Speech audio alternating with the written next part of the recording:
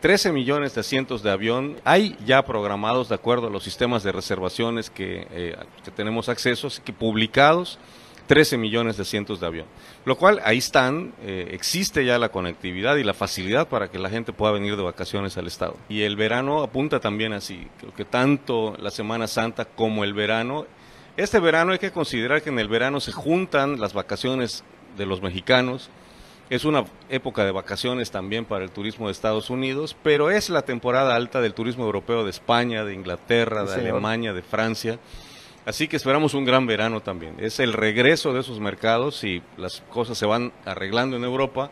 Vamos a tener a partir de junio a septiembre un gran verano. Diciembre también está todavía un poco lejano en las reservaciones. Diciembre en España nos dijeron, a pesar de que estamos en enero, de que ya estaban empezando a tener ventas para diciembre. Ellos ven también un rebote en la demanda del turismo español y ellos esperan a partir del verano tener un gran cierre de año. Gobierno de Quintana Roo.